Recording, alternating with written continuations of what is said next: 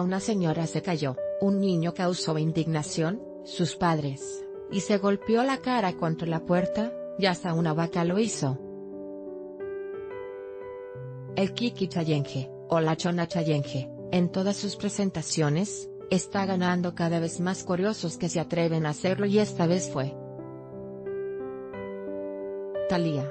Sí, Thalía puso sus curvas en riesgo con tal de unirse al reto, y aparece bailando la chona en las redes sociales. Guión, ya viste Paul Stanley no pudo cargar a Galilea Montijo. ¿Y se le cayó en el programa? Guión Tommy Motola compartió la grabación de su esposa haciéndolo muy a su estilo.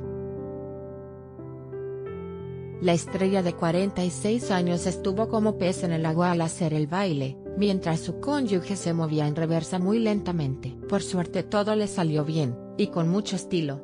Lo que sigue, Emily Ratajkowski hace suyas las redes con estas fotos corrió con la misma suerte que Atala Sarmiento dicen. En vivo en Ventaneando precalifica tu crédito PYME. Desde $100,000 hasta $5 MDP te damos respuesta en 48 horas y puedes disponer del dinero en menos de 10 www.premo.com